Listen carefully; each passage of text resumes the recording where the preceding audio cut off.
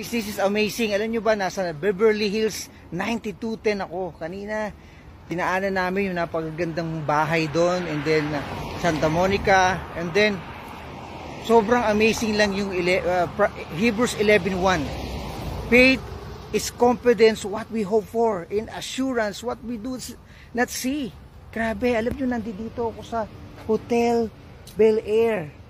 So, imimit namin yung yung mga yung directors eh yung kapatid ni Sa, ni Salma Hayek ni si Sami Hayek imimit namin sila. Merong uh, meeting yung aming boss. So amazing. Nakita mo yung mga sasakyan dito. Simula pa lang eh no? And then grabe. Pang klase rin pa oh. Mga nagdadatingan ang klase yung mga car dito. And then, ang balita ko, napakarami daw artista dito at dito sila nagmi-meeting.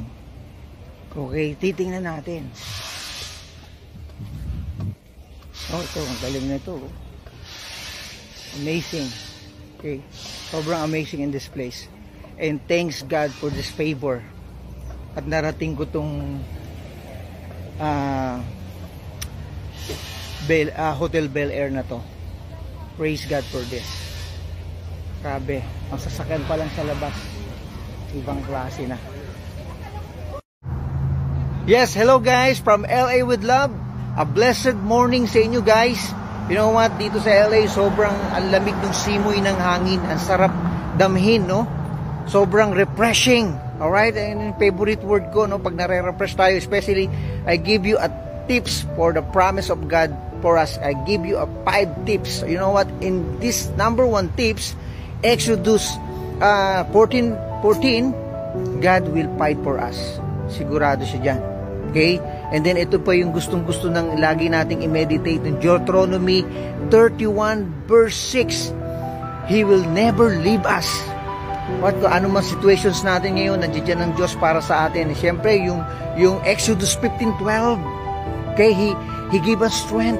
Bibigyan tayo ng kalakasan ng Diyos pag tayo man nangihina. And then, siyempre, yung pagmamahal niya sa atin. In Romans 5.8, He always love us. Okay? Ayun ang maganda sa Panginoon.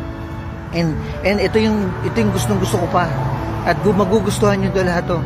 Lahat ng prayers ninyo, sabi ng John 9, okay? I think uh, 9.31, alright? John 9.31, He hear our prayers. Pakikinggan niya lahat ng ating panalangin. Yan yung ating Diyos because He's always love you and care for you. Okay?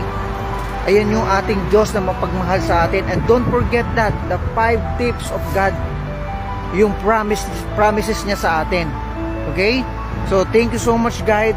God, uh, thank you so much, God, for that. And then, Thank you and don't forget to subscribe my channel, Awesome TV, Think Entrepreneur, Think Evangelist. Okay? Please, uh, share for this. I love you guys. Bye! Hi guys! Thank you so much for the 5,000 followers. I really appreciate guys.